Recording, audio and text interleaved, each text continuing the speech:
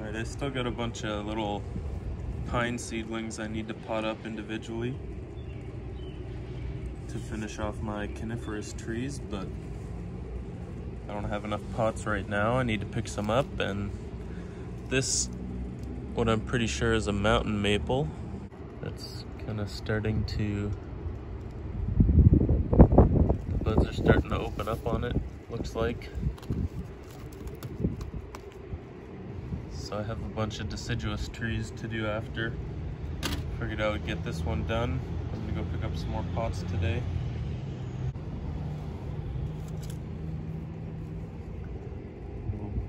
Small broken biface, broken during production.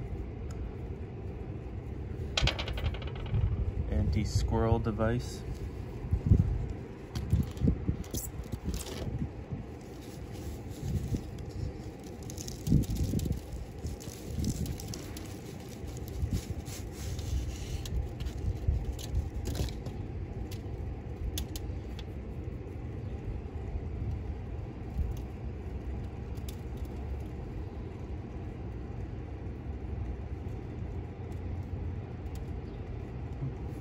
Little bit of fresh roots coming out.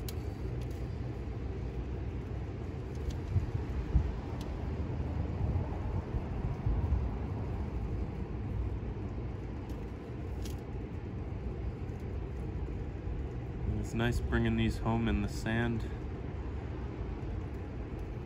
Makes it real easy to take them out now. No damaged roots.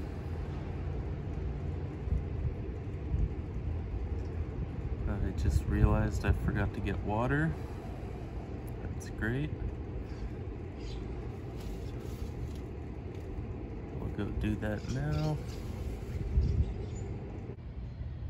And we're back. These roots washed off a little bit.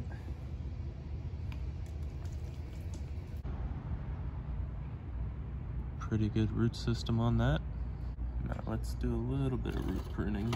There's enough roots on here. I'll lower the root plane later.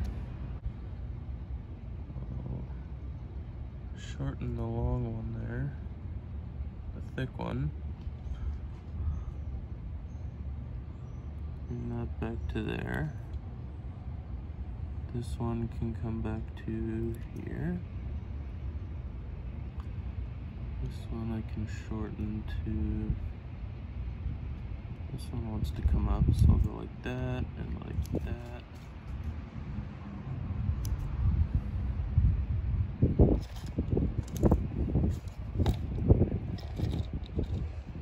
Okay, that's probably too much now.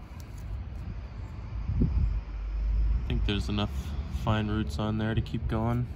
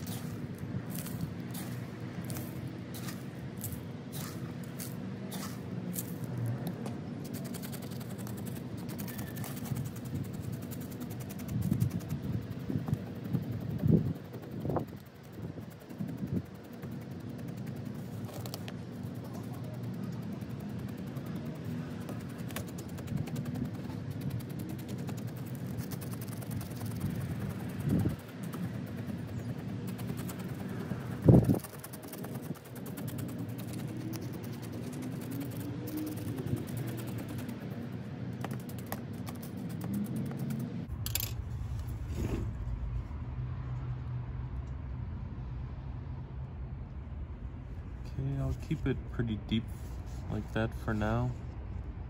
Probably raise it up a bit in the future, but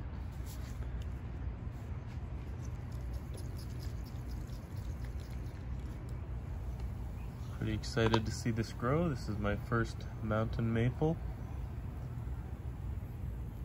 Ontario native tree, as far as I'm aware.